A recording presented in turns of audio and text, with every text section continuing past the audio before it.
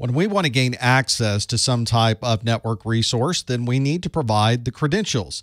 But those credentials are going to be checked first by a AAA server before we're able to gain access to that resource. Let's take the example of someone who is authenticating through a VPN concentrator. We are out here on the client side. We make a request to the VPN concentrator to gain access. We send our username and password and any other type of authentication credentials, and those credentials are are checked against a AAA server.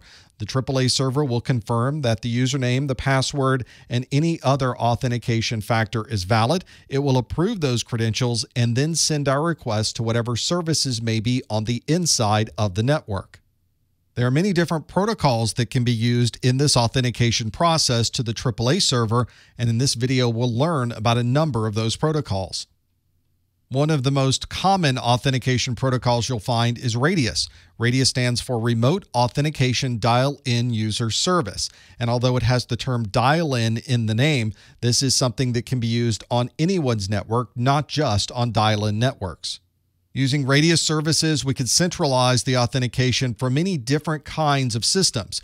If we have users that are logging into routers or switches or firewalls or authenticating to VPN connections or logging into the network using 802.1x, all of these different kinds of services could be centralized with a single authentication to a Radius server. It also helps that these Radius services are available on a number of different operating systems. So, no matter what type of systems you have in your organization, there's probably a Radius service that can run in your OS. Another type of authentication service that's very similar to Radius is TACACS. TACACS stands for Terminal Access Controller Access Control System. This is another type of remote authentication protocol, and it also has been around for a very long time. It was used to control access to the dial up lines that connected people to ARPANET. Cisco needed to extend the capabilities of TACACS, so they created their own version of TACACS called Extended TACACS. It's a proprietary version that was used to authenticate to Cisco devices. In 1993, Cisco made an open standard of TACACS called TACACS Plus. Although you still find that TACACS Plus is used exclusively with Cisco systems, there are capabilities to connect into this Cisco infrastructure using this open standard that's now available. Sometimes you need more than a simple username and password authentication.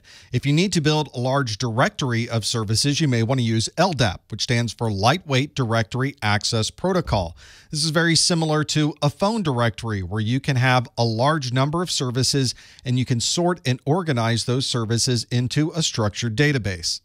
You'll often see the LDAP standard referred to as an X.500 standard. That was the specification written by the ITU. This original version was the Directory Access Protocol. It ran on the OSI protocol stack. And when people wanted to use it on TCP/IP, they created a lightweight version and called it LDAP. These days, LDAP is a very common directory standard, and you'll see it used in Microsoft Windows, Apple Open Directory, Open LDAP, and other directory services.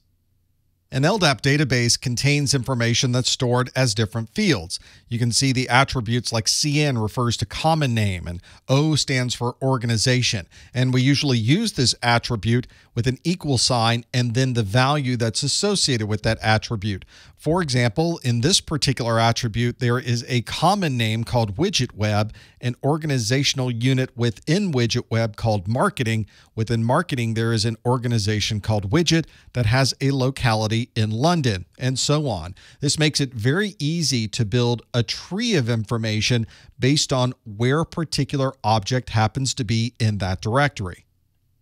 This hierarchical structure can contain the country name, organizational units, or you can customize it to be as extensive or as basic as you need. We usually refer to the country, organization, and organizational units as the container objects. And within those container objects are the actual leaf objects like users, printers, computers, and files. If you're authenticating exclusively to a Windows operating system, you may see a rather old authentication method called Microsoft NTLM. This is a Windows only method of challenge and response to be able to authenticate into a Windows domain. This name NTLM comes from the NT operating system combined with the LAN manager operating system to create this authentication method.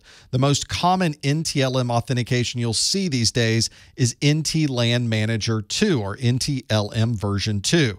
It uses a hash challenge for this password authentication, but it's using a relatively insecure method using MD4 as the hash type. There is an HMAC MD5 hash of the username and server name, and then there's a variable length challenge that uses a timestamp, some random data, and the name of the Windows domain. Even though the NTLM hash has been found to be relatively insecure, there are a number of Windows systems that still store the NTLM hash to provide backwards compatibility. Unfortunately, these credentials are susceptible to a forwarding attack, and so it's not recommended that people continue to use an NTLM hash on their network. These days, Kerberos is the standard method of authenticating in Windows, and it removes all of these vulnerabilities that can commonly be found with an NTLM hash. Kerberos is the modern Windows authentication method. It is a single sign on where we authenticate one time and we are then trusted by every other device in the system. There's no need to constantly re authenticate to gain access to other resources. Kerberos also includes mutual authentication between the client and the server, which means it's protected against man in the middle attacks or replay attacks. Kerberos has been around since the 1980s and it's a very trusted method of authentication.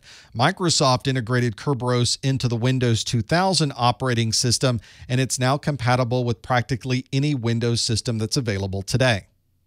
Kerberos makes use of extensive cryptography to provide this type of protection. A ticket granting ticket is provided from the client to a ticket granted service that then provides the service ticket. And that service ticket is then used to authenticate with all of the other services on the network. That means that the user doesn't have to constantly put in a username and password. It simply shows this service ticket behind the scenes, and seamlessly the user gains access to these resources. Obviously, this Kerberos authentication only works with devices that understand Kerberos. So if you need to authenticate to another type of system, you would use Radius, TACACS, LDAP, or some other type of authentication method.